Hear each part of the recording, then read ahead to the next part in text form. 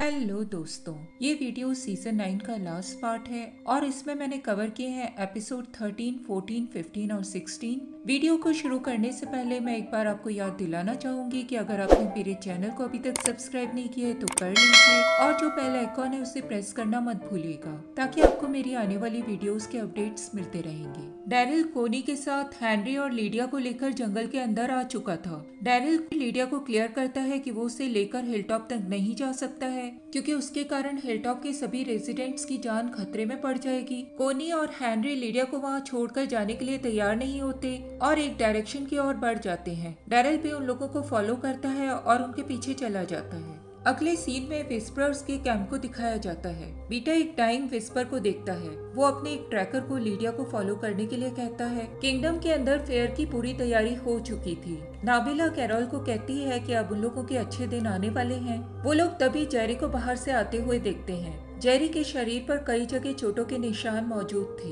Jerry theatre के अंदर आकर एजेकिल से मिलता है। वो एजेकिल को अपने ऊपर हमला करने वाले के बारे में बता देता है। वो एजेकिल को उस हमलावर का एक नोट भी दे देता है। हमलावर ने एजेकिल को कुछ चीज़ें देने के लिए कहा था। हमलावर ने जैकल को ये भी क्लियर किया था कि वो ट्रेड फेयर में आने वाले लोगों को बिना टैक्स लिए किंगडम के अंदर एंटर नहीं करने देगा। इजैकल ये सुनकर बहुत ज़्यादा गुस्से में आ जाता है। वो जेरी से अपने सभी फाइटर्स को तैयार करने के लिए कहता है। इधर हिलटॉप के रेसिडेंट फेयर की ओर रवाना हो चुके थे, तारा और मेघना को रास्ते में पड़ा हुआ एक ट्री दिखाई देता है। वो लोग बाकी लोगों के साथ उस ट्री को हटाने लग जाते हैं। टैमी और अर्ल भी उन लोगों के साथ थे। टैमी एक बेबी को पाकर बहुत खुश थी। कैली को कोनी की बहुत ज़्यादा चिंता थी। वो इस बारे में तारा से बात करता है। तारा और मेघना उसे अश्योर करते हैं कि वो डेरिल के साथ है और बिल्कुल सेफ़ होगी। इधर डेरिल और कॉनी आपस में मिलकर एक प्लान बनाते हैं, जिसके थ्रू वो विस्पर्स और वॉकर्स में फ़र्क कर सकते थे। वो अपने लिए एक ऊँची बिल्डिंग को चूज़ कर लेते हैं।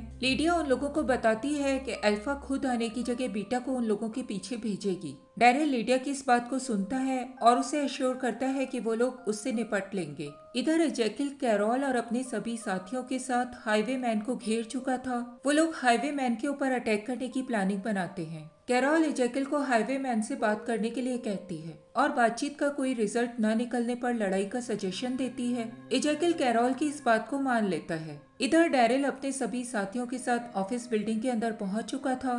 कोनी डेरिल को बताती है कि उन लोगों का ग्रुप उस बिल्डिंग के अंदर रह चुका है। उन लोगों को वहाँ मौजूद कुछ सप्लाईज भी मिल जाती हैं। इधर जैकिल और कैरोल अपने सभी साथियों के साथ हाईवे मैन के लीडर से मिलने के लिए पहुँच जाते हैं। हाईवे मैन के लीडर का नाम ओजी था। वो उन सब लोगों को एक साथ देखकर चौंक जाता है। इजैकल उन सभी लोगों से किंगडम में होने वाले फेयर में पार्टिसिपेट करने के लिए कहता है, जिसे ओजी तुरंत ही मना कर देता है। ओजी अपने सभी आदमियों से जैकल को बंदी बनाने के लिए कहता है। वो जैकल के बदले किंगडम के लोगों से कुछ सप्लाईज चाहता था। कैरोल ने अपने आदमियों को पहले से ही चारों ओर फैला रखा था। वो सभी लोग हाईवे मैन को चारों ओर से घेर लेते हैं। ओजी और किंगडम के लोगों के बीच में लड़ाई की शुरुआत होने वाली थी। तभी कैरोल ओजी के सामने एक और डील रखती है। कैरोल ओजी को कहती है कि वो ट्रेड में आने वाले लोगों के लिए रोड को क्लियर करे और वो लोग हाईवे मैन के सभी लोगों को फ्री में मूवी दिखाएँगे। ओजी मूवी के बारे में सुनकर बहुत खुश हो जाता है और वो कैरोल की इस डील को मान लेता है। इधर ऑफ़िस बिल्डिंग में हैंनरी लीडिया के लिए एक स्पेयर बनाता है और उसे वॉकर से लड़ने के लिए दे देता है। लीडिया अपने लोगों को मारने की इच्छुक नहीं थी। वो उस स्पेयर को वापस हैंनरी को लौटा देती है। लीडिया हैंनरी को कहती है कि उसे उसके कारण अपनी जान को रिस्क में नहीं डालना चाहिए था, क्योंकि अल्फ़ा अपने आप को कभी भी वीक नहीं दिखाना चाहती। और वो लीडिया के इस तरह जाने से वहाँ मौजूद किसी भी आदमी को ज़िंदा नहीं रहने देगी। डैरल उन दोनों को बाहर जाकर चेक करने के लिए कहता है। इधर तारा और मेघना के ग्रुप के पास वॉकर्स का एक छोटा सा हर्ट पहुँच चुका था। तारा सभी को उन लोगों के हाथ पे नज़र रखते हुए उन्हें मारने के लिए कहती है। टैमी भी अपने बेबी को एक बॉक्स में बंद कर देती है और वॉकर्स का सामना करने के लिए आगे आ जाती है। अर्ल एक वॉकर का सामना करते हुए घायल हो जाता है। तभी वहाँ पर हाईवे मैन का पूरा ग्रुप आ जाता है। वो लोग वहाँ मौजूद सभी वॉकर्स को मार डालते हैं और तारा और उसके ग्रुप के लिए रोड को क्लियर कर देते हैं। इधर ऑफ़िस बिल्डिंग में हैनरी और लीडिया बालकनी के अंदर खड़े हुए थे। लीडिया को तभी वॉकर्स का एक ग्रुप ऑफ़िस बिल्डिंग की ओर आता हुआ दिखाई देता है। लीडिया को उसमें मौजूद विस्पर्स दिखाई दे जाते हैं। वो इस बारे में हैनरी को बता देती है। उन वॉकर्स के सबसे बीच में बीटा मौजूद था। बीटा अपने सभी साथी विस्पर्स को इधर उधर जाकर लीडिया को ढूँढने के लिए लिए कहता है। तभी डेरिल बालकनी में से उसके ऊपर एरो चला देता है और बीटा उसकी पोजीशन देख लेता है। सभी विस्पर्स वॉकर्स के साथ उस बिल्डिंग के अंदर घुस जाते हैं। वहाँ मौजूद बैरिकेड्स को देखकर वो लोग समझ जाते हैं कि उन लोगों को वॉकर से अलग करने के लिए ये किया गया था। इधर डैरिल लीडिया को ले जाकर अपने डॉग के साथ एक क्लोजेट के अंदर बंद कर देता है। हेनरी और कोनी दोनों मिलकर विस्पर्स का सामना करने लग जाते हैं, जो कि बिल्डिंग में ऊपर तक आ चुके थे। डैरिल ने दरवाजे की ओर क्रॉसबो का एम ले रखा था। तभी बीटा अपने साथियों के साथ एक दरवाजे को शील्ड बनाकर अंदर घुस जाता है। वो सभी लोग मिलकर विस्पर्स का सामना करने लग जाते हैं। इधर लीडिया को हेनरी की आवाज़ सुनाई देती है और वो डॉग को बाहर निकाल देती है। एक विस्पर के द्वारा हेनरी घायल हो जाता है, तभी डेरिल का डॉग आकर उस विस्पर के ऊपर हमला कर देता है। लीडिया भी हेनरी की मदद करने के लिए वहाँ पर आ जाती है। डेरिल और बीटा का आमना सामना होता है। दोनों में लड़ाई होने लग जाती है। बीटा एक बार डेरिल को सौ के प्लेट के ऊपर झुका देता है। लेकिन डैरिल किसी तरह से मैनेज करके अपने आप को बचा लेता है। डैरिल बीटा की चेस्ट पर नाइफ से वॉर करता है और वहाँ से बाहर निकल जाता है। बीटा अपने नाइफ को बाहर निकालता है और वहाँ पर सभी लोगों को बताता है कि वो लीडिया को वहाँ पर लेने के लिए आया था। डैरिल तभी चुपके से उसके पीछे आ जाता है और उसे एलिवेटर शाफ्ट के अंदर धक्का दे देता है। इधर किंगडम में हाईवे मैन तारा और उसको ग्रुप को लेकर आ जाता है। वो इजेकिल को बता देता है कि वो लोग अपनी ड्यूटी पूरी कर रहे हैं। इजेकिल तारा का किंगडम में वेलकम करता है और उन लोगों से डैरिल और हेनरी के बारे में पूछता है। तारा को आश्चर्य होता है कि डैरिल और हेनरी अभी तक किंगडम में नहीं पहुँचे थे। वो इस बारे में जैकल से बात करती है। इधर सभी विस्परर्स मारे जा चुके थे। कोनी एक तरफ़ से वॉकर्स को निशाना बनाती है और बाहर जाने के लिए रास्ता तैयार करती है। डैरिल उन लोगों को अलेक्सेंड्रिया जाने के लिए सजेस्ट करता है, क्योंकि हेनरी बहुत ज़्यादा घायल था और अलेक्सेंड्रिया उन लोगों के करीब था। इधर बीटा को दिखाया जाता है जो कि एलिवेटर शाफ्ट के अंदर गिर गया था। बीटा को होश आता है और वो उठ के खड़ा हो जाता है। एपिसोड की शुरुआत एक फ्लैशबैक से होती है। रिक को लापता हुए कुछ दिन हो चुके थे और मिशॉन प्रेग्नेंट थी। मिशॉन ब्रिज के पास रिक की बॉडी को ढूंढ रही थी। उसे वहाँ पर रिक का रिवॉल्वर मिल जाता है। मिशॉन की डेरिल से मुलाकात होती है। डेरिल भी रिक को जगह जगह पर खोज रहा था। वो मिशॉन को बताता है कि उसे भी रिक की बॉडी नहीं मिली थी। मिशॉन डेरिल को अलेक्जेंड्रिया वापस लौटकर आने के लिए कहती है। डेरिल मिशॉन को क्लियर करता है कि वो कुछ ढूंढ लेने के बाद ही अलेक्जेंड्रिया वापस लौट कर आएगा। एपिसोड एक बार फिर से प्रेजेंट में आता है। मिशॉन रिकी गन को क्लियर करके जुडित के बॉक्स में रख देती है। एरन मिशॉन के पास आता है और उसे डेरिल के कुछ लोगों के साथ अलेक्जेंड्रिया के बाहर आने के बारे में बता देता है। मिशॉन अलेक्जेंड्रिया के गेट पर आकर डेरिल से बात करती है। वो लीडिया को पहचान जाती है और उसके बारे में डेरिल से बात करती है। डेरिल मिशॉन को एश्योर करता है कि वो अब उन लोगों के साथ है और हेनरी बहुत ज़्यादा घायल है। इस मोमेंट पर एक और फ्लैशबैक दिखाया जाता है। मिशॉन अलेक्जेंड्रिया के बाहर मौजूद एक स्ट्रेंजर को देखती है। मिशॉन उस स्ट्रेंजर को पहचान जाती है। वो उसकी बचपन की फ्रेंड जोसिलिन थी। हेनरी को इन्फर्मरी ले जाया जाता है, जहाँ पर उसकी चोट में स्टिचेस लगा दिए जाते हैं। डेरिल मिशॉन को बताता है कि वो लोग जल्दी ही किंगडम की ओर रवाना हो जाएँगे। एक बार फिर से फ्लैशबैक दिखाया जाता है। एक दिन जोसिलिन बहुत ज़्यादा पैनिक हो जाती है। वो मिशॉन को कहती है कि उसे अपने लोगों के पास जाना है। मिशॉन उसे कंफर्ट कराने की कोशिश करती है और उससे उनके बारे में पूछती है। बाद में दिखाया जाता है कि मिशॉन, गैब्रियल, रोशिता और यूजीन जोसिलिन की बताई हुई लोकेशन पर पहुँच जाते हैं, उन्हें वहाँ पर बहुत सारे बच्चे मिल जाते हैं। एपिसोड प्रेजेंट में आता है। मिशॉन लिडिया को क्लियर करती है कि उसने बहुत चीज़ें ऐसी की है जिसके लिए वो सोचना भी नहीं चाहती। मिशॉन लिडिया को कहती है कि अगर वो एलेक्सेंड्रिया को सेफ़ देखना चाहती है तो उसे एलेक्सेंड्रिया को छोड़कर चले जाना चाहिए। अगले सीन में डेरिल और जुडित को दिखाया जाता है, जो कि लेक के करीब बैठे हुए थे। जुडित डेरिल को कहती है कि उसने लीडिया की मदद करके बहुत अच्छा काम किया है, और वो सभी लोग एक होकर विस्पर्स को हरा सकते हैं। जुडित उम्मीद करती है अगर उसके डैडी उस वक्त वहाँ होते तो वो भी ऐसा ही करते। एक बार फिर से फ्लैशबैक दिखाया जाता है। अलेक्सेंड्रिया में जोसिलिन के साथ मौजूद सभी बच्चे आ चुके थे। वो सभी बच्चे जुडित और कम्युनिटी के बच्चों के साथ बोन फायर को एंजॉय कर रहे थे। अगले सीन में मिशोन और जोसिलिन को दिखाया जाता है। मिशॉन जोसिलिन के बच्चों की हंटिंग स्किल्स देखकर बहुत ज़्यादा इम्प्रेस थी। वो उससे उन सभी बच्चों की तारीफ़ करती है। जोसिलिन मिशॉन को क्लियर करती है कि उसके बच्चे सब कुछ कर सकते हैं। अगले सीन में फिर से प्रेजेंट को दिखाया जाता है। रात में डेरिल, हेनरी और लेडिया किंगडम की ओर जाने की तैयारी कर रहे थे। एरन और मिशॉन उन दोनों को गुड बाय कहने के लिए वहाँ पर मौजूद थे। जुडित भी एक तरफ़ बैठी हुई इन सभी लोगों को देख रही थी। मिशॉन डेरिल को बताती है कि जुडित अभी भी उससे बहुत ज़्यादा गुस्सा है। डेरिल मिशॉन को जुडित से बात करने के लिए कहता है और उसे सभी सच बताने के लिए कहता है। वो मिशॉन को क्लियर करता है कि जुडित अब बच्ची नहीं रही है। और वो सब कुछ समझने लगी है। उन लोगों के जाने के बाद बिशौर वहाँ मौजूद सीवर के मेन होल कवर को देखती है। जो कि बोल्ट से सील्ड था। रात में मिशॉन और एलेक्सेंड्रिया के सभी रेजिडेंट अपने अपने बच्चों को बोनफायर के पास से लेने के लिए जाते हैं। वो लोग देखते हैं कि जोसेलिन सभी बच्चों के साथ गायब है। वो लोग एलेक्सेंड्रिया में उन सभी लोगों की तलाश करते हैं। उन लोगों को पेंट्री में एक रेजिडेंट मरा हुआ मिलता है। पेंट्री को जोसेलिन और उसके किड्स ने पूरी तरह से खाली कर दिया था। मिशॉन को वहाँ मौजूद ब्लड के कुछ फुटप्रिंट्स दिखाई देते हैं। वो उन फुटप्रिंट्स को फॉलो करती हुई सीवर के मेन होल तक पहुँच जाती है। उसे सीवर का मेन होल खुला हुआ दिखाई देता है। एपिसोड एक बार फिर से प्रेजेंट में आता है।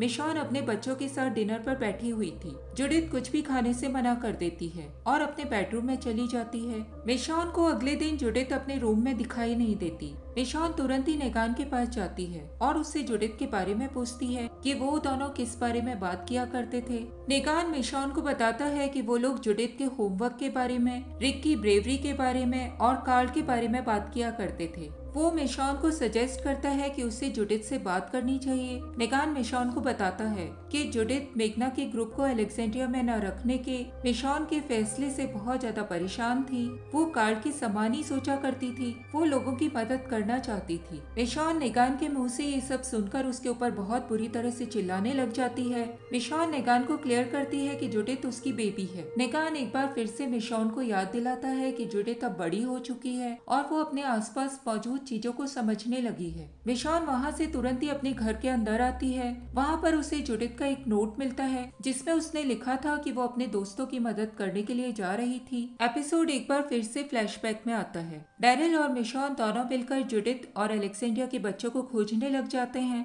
मिशान जोसिलिन के ऊपर ट्रस्ट करने के लिए अपने आप को कोसने लग जाती है। डेरिल मिशॉन को क्लियर करता है कि लोग बहुत कुछ बदल चुके हैं और अब वो लोग उन लोगों के बारे में ज़्यादा कुछ नहीं जानते हैं। मिशॉन और डेरिल को तभी वहाँ एक स्कूल के बाद जोसेलिन का एक बच्चा दिखाई दे जाता है। वो बच्चा इन दोनों को देखकर अंदर की ओर भागने लग जाता है। मिशॉन और डेरिल उस बच्चे का पीछा करते हैं। मिशॉन और डेरिल उस बच्चे का पीछा करते हुए बाकी बच्चों तक पहुँच जाते हैं। तभी डेरिल के शोल्डर में एक एरो आकर लगता है। मिशॉन को लीनस हिट करके बेहोश कर देता है। डेरिल और मिशॉन थोड़ी देर बाद होश में आते हैं। उन दोनों के हाथ एक पाइप से बंधे हुए थे। जॉसिलिन मिशॉन और डेरिल को क्लियर करती है कि बच्चों को कभी भी सॉफ्ट नहीं होना चाहिए। उन्हें हर तरह से स्ट्रॉन्ग होना चाहिए। तभी कुछ बच्चे मिशॉन और डेरिल की पीठ पर जलते हुए आयरन से एक्स का एक निशान बना देते हैं। उन लोगों के वहाँ से जाने के बाद मिशॉन और डेरिल किसी तरह से अपने आप को फ्री कर लेते हैं। वो दोनों अलग अलग डायरेक्शन में चले जाते हैं। हॉलवे में मिशॉन की मुलाकात जोसेलिन से होती है। मिशॉन जोसेलिन से जुडित और एलेक्सेंड्रिया के बाकी बच्चों के बारे में पूछती है। उन दोनों की आपस में बहस होने लग जाती है। तभी वहाँ पर दो बच्चे आ जाते हैं। जोसेलिन उन दोनों को मिशॉन को मारने के लिए कहती है और वहाँ से चली जाती है। जीना मिशॉन की कटाना पकड़े हुए थी। मिशॉन के हाथ में एक पाइप था। मिशॉन उन दोनों को क्लियर करती है कि वो उन लोगों को नुकसान नहीं पहुंचाना चाहती। तभी लीनियस मिशॉन के ऊपर अटैक कर देता है। मिशॉन के स्टमक के ऊपर एक बहुत बड़ा कट लग जाता है। मिशॉन बहुत जोरों से चिल्लाने लग जाती है। वो अपनी कटाना उन लोगों से ले लेती है और बच्चे वहाँ से भाग जाते हैं। मिशॉन को तभी वहाँ से बाहर निकलने का एक रास्ता दिखाई देता है। मिशॉन वहाँ से बाहर निकल जाती है। जोसेलिन एक वुडन के प्लैंक को लेकर मिशॉन को मारने लग जाती है। मिशॉन किसी तरह से अपने आप को संभालती है और वो उठकर जोसेलिन को मार डालती है। मिशॉन वहाँ मौजूद सभी किड्स को अपने साथ एलेक्सेंड्रिया चलने के लिए कहती है। तभी वहाँ मौजूद मिचेल, जो की जोसेलिन का साथी था, सभी बच्चों को जुडित और एलेक्सेंड्रिया के बच्चों को मार देने का ऑर्डर देता है। मिशॉन तुरंत ही उसको मार डालती है। मिशॉन उन सभी बच्चों से वहीं पर रुकने के लिए कहती है। लेकिन वो सभी बच्चे मिशॉन के ऊपर अटैक करने लग जाते हैं और मिशॉन वहाँ मौजूद सभी बच्चों को मार डालती है।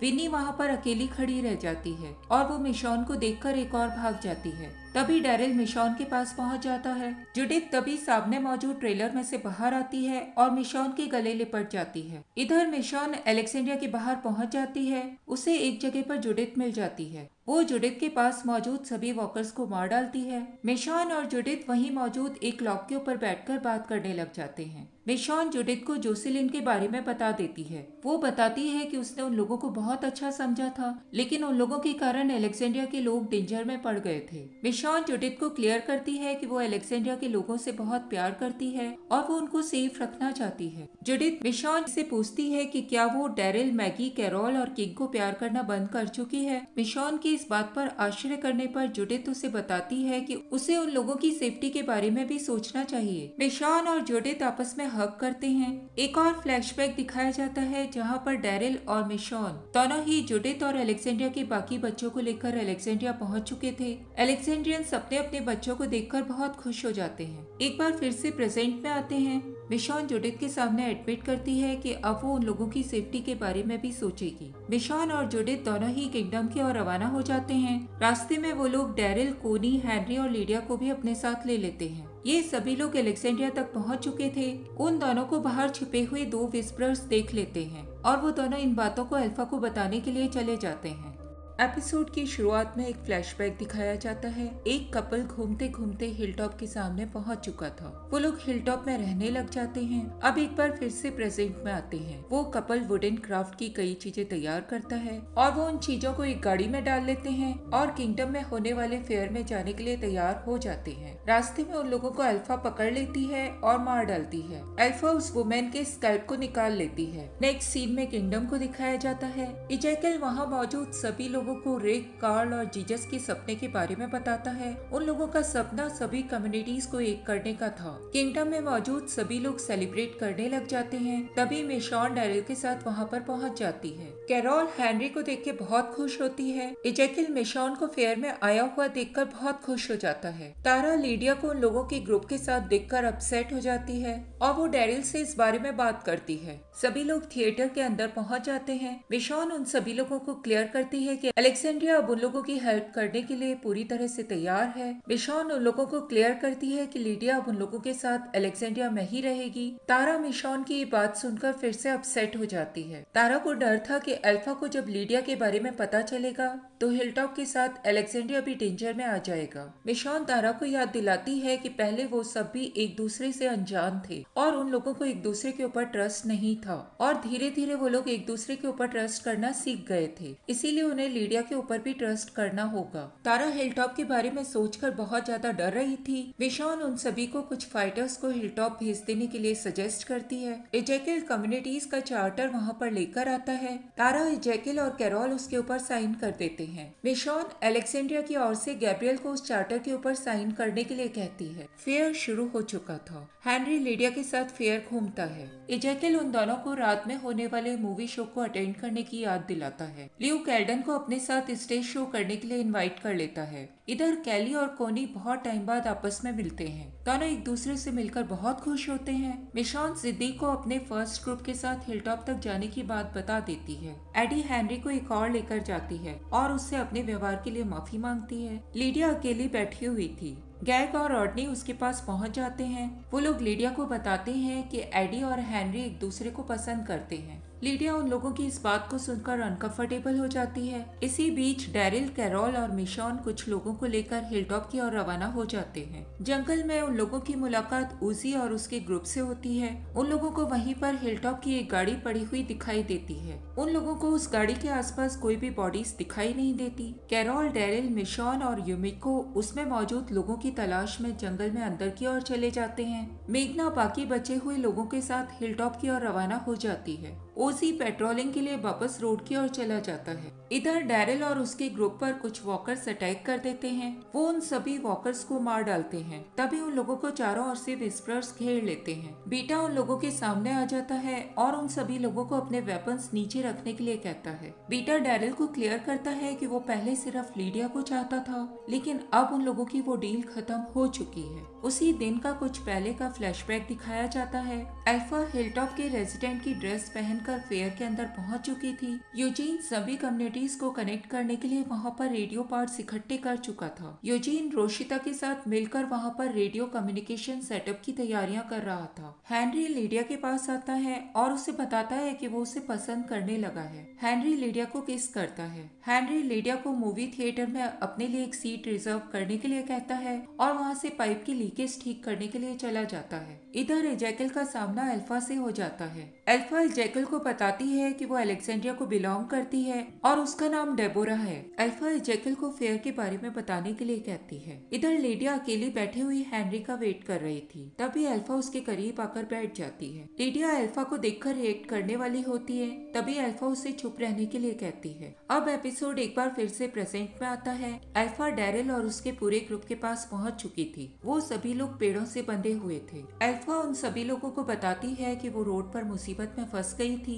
उसके हाथ में खून लगा हुआ एक चाकू था। मिशॉन अल्फ़ा को वार्न करती है कि अगर उसने लीडिया को नुकसान पहुँचाने की कोशिश की तो सभी कम्युनिटीज उसके खिलाफ लड़ाई करेंगी। अल्फ़ा मिशॉन को क्लियर करती है कि वो लीडिया की बिल्कुल भी परवाह नहीं करती है। अल्फ़ा एक शॉटगन निकालती है और डेरिल को अपने साथ आने के लिए कहती है। अल्फ़ा डेरिल को लेकर एक क्लिफ के ऊपर खड़ी हो जाती है। वहाँ से डेरिल को वॉकर्स का एक हर्ट दिखाई देता है जिनके बीच में विस्पर्स भी मौजूद थे। एल्फा डेरिल को क्लियर करती है कि उन लोगों की बनाई हुई कम्युनिटीज एक मज़ाक हैं और डेड की दुनिया में डेड बनकर ही जीना पड़ता है। एल्फा डेरिल को वार्न करती है कि इस वक्त तो उसके सभी दोस्त सेफ़ हैं, लेकिन अगली बार उन लोगों ने उसके एरिया में आने की कोशिश की तो वो सभी वॉकर्स को उनकी कम्युनिटीज का रास्ता दिखा देगी। एल्फा डेरिल को बताती है कि उसने विस्परर्स और कम्युनिटीज के बीच में एक बॉर्डर को मार्क कर दिया है और वो डायरेल और उसकी कम्युनिटीज को उस बॉर्डर को क्रॉस न करने की वार्निंग देती है। उसी रात में कुछ देर पहले का एक और फ्लैशबैक दिखाया जाता है,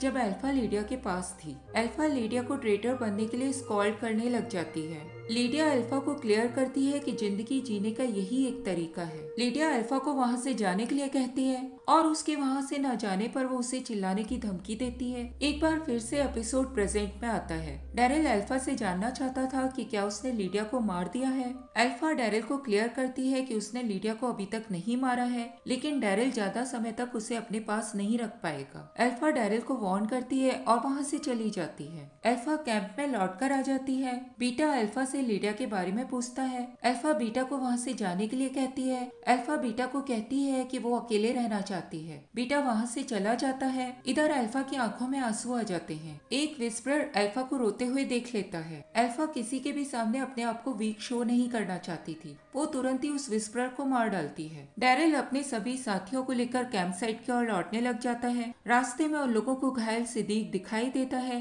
जो की एक पेड़ से बंधा हुआ था। सिद्दीक उन लोगों को एक नज़दीक की हिल की ओर इशारा करता है। वो सभी लोग उस हिल की ओर देखते हैं। उन्हें वहाँ पर टेन वुडन पाइक्स कड़े हुए दिखाई देते हैं। उन सभी पाइक्स के ऊपर कुछ ह्यूमन हेड लगे हुए थे। डेरिल अपने पूरे ग्रुप के साथ उस हिल के ऊपर पहुँच जाता है। वो लोग वहाँ पहुँच देखते हैं कि OC Alec DJ Frankie Tammy Rodney Eddie Annette Tara और हैनरी के हेड उन पाइक्स पर टंगे हुए थे। फेयर का एक और फ्लैशबैक दिखाया जाता है, जहाँ पर इन सभी लोगों को लोग ढूंढ रहे थे और उन लोगों के बारे में एक दूसरे से पूछताछ कर रहे थे। कैरोल हैनरी के हेड को देखकर शॉक्ड रह जाती है और बहुत जोरों से रोने लग जाती है। डेरिल कैरोल को चुप कराने के लिए उसके पास आ जाता है। सभी लोग किंगडम लौट कर आ जाते हैं। सिद्दीक वहाँ मौजूद सभी लोगों को अभी अभी हुए हादसे के बारे में बताता है। सिद्दीक बताता है कि अल्फ़ा ने उसे ज़िंदा इसीलिए छोड़ा था, जिससे कि वो अपने सामने होने वाली घटना को उन सभी लोगों को सुना चुके। सिद्दीक उन लोगों को क्लियर करता है कि अल्फ़ा सभी कम्युनिटीज को अलग करना चाहती है। सिद्दीक उन सभी लोगों को बताता है कि मरने वाले लोगों ने अपनी आखिरी सांस तक अल्फ़ा और विस्पर्स के साथ फाइट की थी और वो लोग एक शहीद की मौत मरे हैं। थोड़े समय बाद डेरिल और लीडिया बॉर्डर के पास आ जाते हैं। लीडिया हेनरी का दिया हुआ नेकलेस हेनरी वाले पाइक के पास रख देती है। उन लोगों के वहाँ से मुड़ते ही बर्फ़ गिरने लग जाती है। हेनरी की डेथ हुए कुछ महीने बीत चुके थे। किंगडम की हालत बहुत बुरी तरह से खराब हो चुकी थी। इजेकिल तूफ़ान के आने से पहले किंगडम के सभी रेजिडेंट्स के साथ हिलटॉप तक जाने की प्लानिंग बनाता है। कैरोल हेनरी का कुछ सामान अपने साथ पैक कर लेती है। लाइडिया इस वक्त किंगडम में ही मौजूद थी। इजेकिल कम्युनिटीज के चार्टर को पैक कर लेता है। किंगडम के सभी लोग इजैकिल और कैरोल के साथ किंगडम को छोड़कर हिलटॉप की ओर रवाना हो जाते हैं। रास्ते में युमिको मिशॉन को बताती है कि उन लोगों ने मैगी को बहुत सारे लेटर्स लिखे थे, लेकिन मैगी का अभी तक कोई भी जवाब नहीं आया है और हिलटॉप में इस वक्त लीड करने वाला कोई भी नहीं है। तभी उन सभी लोगों को कुछ दूर पर वॉकर्स का एक हर्ट दिखाई देता है। एल्डन तुरंत ही लीडिया के पास आता है। एल्डन एनेट की अचानक हुई डेथ से बहुत ज़्यादा दुखी था। वो लीडिया को विस्पर्स के बारे में कुछ बातें कह देता है। उसकी बातों से लीडिया बहुत ज़्यादा दुखी हो जाती है। डैरिल तुरंत ही आकर एल्डन को शांत करवाता है। लीडिया डैरिल को क्लियर करती है कि वो उनके लोगों के लिए प्रॉब्लम नहीं बनना चाहती, जबकि डैरिल उसे समझाता है कि वहाँ के सभी लोग एक दिन उसे अपना लेंगे। डैरिल कैरोल के पास जाता है और उसे बताता है कि हेनरी लीडिया को पसंद किया करता था और वो चाहता था कि लीडिया उन लोगों के साथ ही रहे। कैरोल डैरिल को कहती है कि वो जब भी लीडिया को देखती है, उसे हेनरी याद आ जाता है। डैरिल कैरोल से पूछता है कि उसे डेरिल को देखकर क्या याद आता है। कैरोल डैरिल को क्लियर करती है कि उसे डैरिल में वही दिखाई देता है। ये कहते हुए कैरोल डैरिल के कंधे पर अपना हाथ रख देती है। इजेकिल दूर से कैरोल और डेरिल को देख रहा था। वो उन दोनों को इस तरह से देखकर अनकंफर्टेबल हो जाता है। तभी जेरी जैकल के पास आकर उन लोगों को शेल्टर ढूँढने के लिए कहता है, क्योंकि तूफ़ान बहुत ज़्यादा पास आ चुका था। एलेक्सेंड्रिया की हालत भी बहुत ज़्यादा खराब थी। यूजीन, गैब्रियल और रोशिता मिलकर प्लानिंग बनाते हैं कि वो एलेक्सेंड्रियंस को तीन ग्रुप में बांट देंगे और उन सभी लोगों को एरन के और बारबरा के हाउस के अलावा मीटिंग हाउस में शिफ्ट कर देंगे। उन तीनों जगह एलेक्सेंड्रिया के सबसे बड़े फायर प्लेसेस थे। गैब्रियल और रोशिता दोनों ही मीटिंग हाउस में मौजूद थे। तभी वहाँ पर यूजीन आकर उन लोगों को आने वाले तूफ़ान के बारे में बताता है। गैब्रियल उन लोगों को सजेस्ट करता है कि उन लोगों को अब चर्च की ओर मूव कर जाना चाहिए, क्योंकि वहाँ का फायरप्लेस उस जगह से ज़्यादा बड़ा था। ठंड बहुत ज़्यादा पड़ रही थी। गैब्रियल उन लोगों को नेगान को भी चर्च के अंदर लाने की सलाह देता है। इधर रोड पर डैरिल और कैरोल ने बहुत सारे वॉकर्स को मार दिया था। डैरिल अपने सभी ग्रुप के लोगों को आगे जाने के लिए कहता है और वो इजैकल के साथ अपने एरोस को वॉकर से निकालने के लिए आगे बढ़ जाता है। इजैकल डैरिल को आगे जाकर रोकता है और उसे कहता है कि वो हिलटॉप में कैरोल के साथ नए सिरे से ज़िंदगी शुरू करना चाहता है और वो नहीं चाहता कि डैरिल हिलटॉप में उन लोगों के साथ रहे। डैरिल इजैकल की इस बात का कोई भी जवाब नहीं देता और चुपचाप उसकी ओर देखता रह जाता है। इधर लीडिया पूरे ग्रुप से अलग एक और चली गई थी। उसे वहाँ पर आइस में दबा हुआ एक वॉकर दिखाई देता है। लीडिया अपने हाथ के ग्लोब को उठाकर अपने हाथ को वॉकर के आगे कर देती है। वो इस तरह से सुसाइड करना चाहती थी। तभी कैरोल लीडिया को इस तरह देख लेती है। लीडिया कैरोल को वहाँ पर आया हुआ देखती है। और वो चुपचाप उसे फॉलो करती हुई ग्रुप के पास पहुँच जाती है। मौसम बहुत ज़्यादा खराब हो चुका था, बर्फ़ बहुत ज़्यादा गिरने लगी थी। मिशान उन सभी को लेकर रास्ते में पड़ने वाली सेंचुरी में पहुँच जाती है। इधर एलेक्सेंड्रियन चर्च के अंदर इकट्ठे हो जाते हैं। निगान भी उन लोगों के साथ था। निगान वहाँ पर रोशिता को देखता है और उसके लव क्वाड्रिंकल को देखकर एक टॉन्ट करता है। उसकी बात सुनकर रोशिता, यूजीन, गैब्रियल और सिद्दीक सभी एम्बेरेस्ड हो जाते हैं। डेरिल ने जुडित को अपने डॉग का ध्यान रखने के लिए कहा था और जुडित को अब उस डॉग की बहुत ज़्यादा चिंता थी। तभी यूजीन को किसी चीज़ की स्मेल आती है। वो तुरंत ही सिद्दीक और गैब्रियल को फायरप्लेस से हटने के लिए कहता है। उन लोगों के हटते ही फायरप्लेस में ब्लास्ट हो जाता है। वो सभी लोग चर्च को अनसेफ देखकर एरन के घर की ओर मूव करने की प्लानिंग करते हैं। बाहर बहुत जोरों का तूफ़ान चल रहा था। वो सभी लोग आपस में एक दूसरे को रस्सी से बाँध लेते हैं। इधर डैरिल और मिशॉन पूरे ग्रुप के साथ सेंचुरी के अंदर पहुँच चुके थे। डैरिल कैरोल के पास जाता है। कैरोल जंगल में डैरिल और जैकिल को आपस में बात करते हुए देख चुकी थी। वो उस बारे में डैरिल से पूछताछ करती है, लेकिन डैरिल उस वक्त चुप रहता है। कैरोल सस्पिशियस नज़रों से डैरिल की ओर देखती है। कैरोल डैरिल के सामने एडमिट करती है कि हेनरी के जाने के बाद वो पूरी तरह से टूट चुकी है। डैरिल कैरोल को बताता है कि वो लीडिया को अपने साथ ले जाने के बारे में सोच रहा था और वो लीडिया का पूरा ध्यान रखेगा। बाहर तूफ़ान बहुत ज़्यादा तेज था। पिशान उन सभी लोगों को बताती है कि उन्हें उसी वक्त उस जगह को छोड़ना होगा, नहीं तो वो लोग उस जगह से कभी भी नहीं निकल पाएँगे, क्योंकि उन लोगों के पास सप्लाईज बहुत कम थी। वो सभी लीडर्स वहाँ के मैप को देखकर जाने वाले रूट का पता लगाते हैं। उन लोगों का हिलटॉप का रास्ता एक फ्रोजन लेक के ऊपर से गुजर रहा था। वो फ्रोजन लेक अल्फ़ा के बॉर्डर के अंदर पड़ती थी। इजेकिल मिशॉन को कहता है कि वो किंगडम में अल्फ़ा को नहीं पहचान पाया था, क्योंकि अलेक्जेंड्रिया के लोग छह साल से किसी भी कम्युनिटी के कांटेक्ट में नहीं थे। मिशॉन इजेकिल की इस बात को सुनकर कसम खाती है कि वो अब सभी कम्युनिटीज को एक करके रहेगी और वो किसी को भी सेपरेट नहीं होने देगी। उन लोगों का पूरा ग्रुप तैयार होकर सेंचुरी को छोड़ देता है। पूरा का पूरा ग्रुप विस्पर्स के बॉर्डर के करीब पहुँच चुका था, जहाँ पर उन लोगों को गड़े हुए स्पाइक्स दिखाई देते हैं। इधर अलेक्जेंड्रिया में सभी लोग एरन की घर की ओर बढ़ रहे थे, तभी जुडित को डॉग की आवाज़ सुनाई देती है। जुडित तुरंत ही रोप को छोड़कर उसको फॉलो करने लग जाती है। निगान जुडित को डॉग के पीछे जाते हुए देखता है और उसे फॉलो करने लग जाता है। इधर मेशॉन का पूरा ग्रुप आगे बढ़ता है। उन लोगों को कई जगह फ्रोजन वॉकर्स दिखाई देते हैं। वो सभी लोग फ्रोजन वॉकर्स को मारते हुए, आगे बढ़ते हुए फ्रोजन लेक तक पहुँच जाते हैं। डैरिल देखता है कि लीडिया उस ग्रुप से मिसिंग है। कैरोल वहाँ मौजूद सभी लोगों को फ्रोजन लेक को पार करने के लिए कहती है और खुद लीडिया को ढूँढने के लिए चली जाती है। ग्रुप के लोग एक एक करके फ्रोजन लेक से आगे बढ़ने लग जाते हैं। उस फ्रोजन लेक में कई वॉकर्स दबे हुए थे। जो बाहर निकलना शुरू हो जाते हैं। सभी लोग उन वॉकर्स को मारते हुए लेक में आगे की ओर बढ़ने लग जाते हैं। इधर कैरोल लीडिया तक पहुँच जाती है, जो कि उस वक्त एक कैबिन में थी। कैरोल के पूछने पर लीडिया उसे बताती है कि वो उस लेक को क्रॉस नहीं करना चाहती थी, क्योंकि उसके हिलटॉप जाने से कुछ भी बदलने वाला नहीं था। सभी लोग अपनों के खोने का कारण लीडिया को ही मानते थे। लीडिया कैरोल को बताती है कि हेनरी भी उसी के कारण मारा गया था। वो कैरोल से कहती है कि वो कायर है और वो अपने आप को नहीं मार सकती। वो कैरोल से रिक्वेस्ट करती है कि वो उसे मार दे। ताकि आने वाले समय में उसके कारण किसी और को, किसी अपने को न खोना पड़े। कैरोल तुरंत ही लीडिया के ओर बढ़ते हुए एक वॉकर को मार डालती है और लीडिया को क्लियर करती है कि वो वीक नहीं है। कैरोल लीडिया को वापस अपने ग्रुप के पास लेकर आ जाती है। इधर निकान बर्फीले तूफ़ान में जुडित को खोज रहा था, तभी उसे डॉग की आवाज़ सुनाई देती है। निकान उस आवाज़ को फॉलो करते हुए जुडित तक पहुँच जाता है। निकान जुडित को अपने कंधे पर लाद लेता है और डॉग की चैन अपने हाथों में पकड़कर एरन के घर की ओर बढ़ने लग जाता है। निकान जुडित को खोजते हुए घायल हो चुका था। वो एक जगह जुडित को उतारता है और उसे अपना कोट पहना देता है। निकान अपनी चोट के ऊपर एक पट्टी बांधता है और वो जुडित और डॉग को लेकर एरन के घर की ओर चला जाता है। इधर डैरिल अपने पूरे ग्रुप के साथ मॉर्निंग के समय हिलटॉप पहुँच चुका था और उस वक्त तक तूफ़ान भी पूरी तरह से थम चुका था। डैरिल हिलटॉप के बाहर मौजूद एक फ्रोजन वॉकर को तोड़ डालता है। उसी रात को डैरिल लीडिया को इन्फॉर्म करता है कि वो उसके साथ अगले दिन अलेक्जेंड्रिया की ओर जाने वाली है।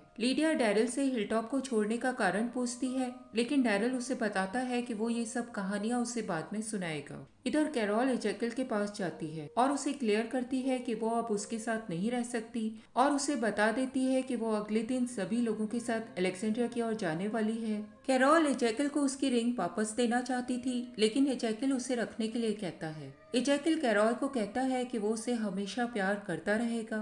अगले दिन मिशॉन डेरिल, कैरोल और बहुत सारे किंगडम के रेजिडेंट्स अलेक्सेंड्रिया पहुँच जाते हैं। मिशॉन वहाँ पर आर्ची और जुडिस से मिलकर बहुत खुश होती है और उन्हें हक करती है। वो सभी लोग मिलकर स्नो से खेलने लग जाते हैं। बाद में मिशॉन नेगन से इन्फर्मरी के अंदर मिलने के लिए जाती है। मिशॉन नेगन को जुडित की जान बचाने के लिए थैंक्स कहती है। नेगान मिशॉन और उसके ग्रुप के विस्पर्स की टेरिटरी को क्रॉस करने के बारे में सुन चुका था। वो उस वक्त मिशॉन की बहादुरी की तारीफ़ करता है। अगले सीन में विस्पर्स के कैंप को दिखाया जाता है। बीटा अल्फ़ा के पास आता है और उसे कहता है कि उन लोगों का पैक बहुत समय से सब लोगों से अलग था और ये उनके लिए बहुत अच्छा हुआ है। अल्फ़ा बीटा को क्लियर करती है कि वो आने वाली सिचुएशन के लिए तैयार होना चाहती है और अपने आप को और स्ट्रॉन्ग करना चाहती है। अल्फ़ा बीटा के हाथ में एक फ्लॉक थमा देती है और बीटा उस फ्लॉक से उसके आर्म के ऊपर मारने लग जाता है। इधर हिलटॉप से इजेकिल जुडित से रेडियो पर बात करता है। इजेकिल जुडित को बताता है कि वो लोग अपने घर को खो चुके हैं, लेकिन उनके लोग अभी भी उनके साथ हैं। इजेकिल जुडित से बात करके वहाँ से चला जाता है। तभी रेडियो अपने आप बचने लग जाता है, जिस पर एक आवाज़ पूछ रही थी कि क्या वहाँ पर कोई मौजूद था।